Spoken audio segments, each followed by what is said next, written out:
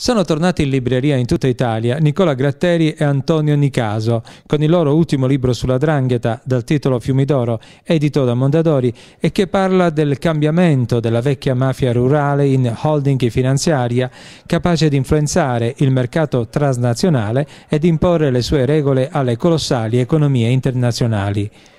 Un libro che racconta particolari inediti di una guerra spietata che la Drangheta affronta con fiumi di dollari in tutto il mondo sui mercati finanziari che più contano, investendo proventi illecitamente ricavati dal traffico internazionale della droga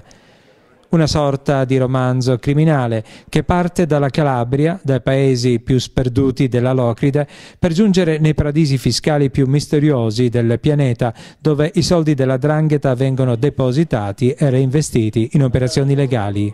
Sì, il senso di questo libro è quello di ripercorrere le ricchezze dell'andrangheta, cioè come l'andrangheta è diventata ricca, partendo, eh, ricostruendo eh, dalla fine dell'Ottocento fino agli anni 70 una mafia che è agropastorale che si interessava di guardianie, eh, di, di abigeato,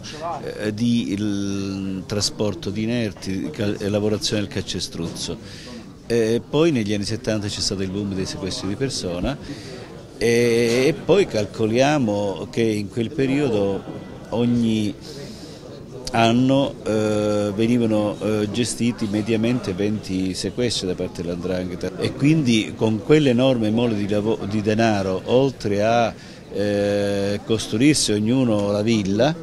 eh, ehm, sono serviti, eh, quei soldi sono serviti per incominciare a mandare dei broker, incominciare a mandare degli uomini a specializzarsi a comprare cocaina al prezzo più basso. Una nuova testimonianza di coraggio civile da parte di Gratteri che da 30 anni vive una vita blindata e da parte del suo amico più caro Antonio Nicaso che gli sta vicino esaminando sentenze e aggiornandosi sempre su tutto ciò che riguarda le varie mafie. Questo libro nasce dalla voglia di capire eh, uno dei passaggi fondamentali dell'andrangheta, quello appunto del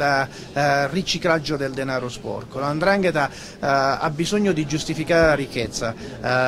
vive sopra una montagna di denaro proveniente in gran parte dal traffico internazionale di cocaina ed ha bisogno di riciclare questo denaro un po' dappertutto,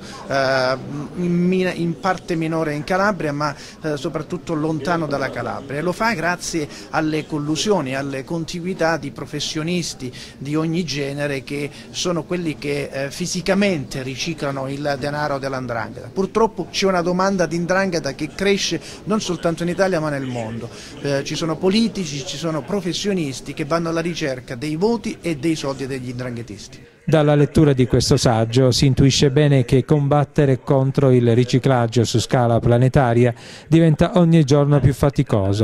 La differenza dei sistemi giuridici, la mancanza di reati associativi e la difficoltà di globalizzare l'azione di contrasto favoriscono tutte le mafie che invece riescono sempre più a collaborare a livello internazionale. Eh, ai ragazzi a spiegare la non convenienza a delinquere eh, proprio perché è una ricetta di lungo periodo, una ricetta faticosa, eh, dove i risultati si vedono dopo anni.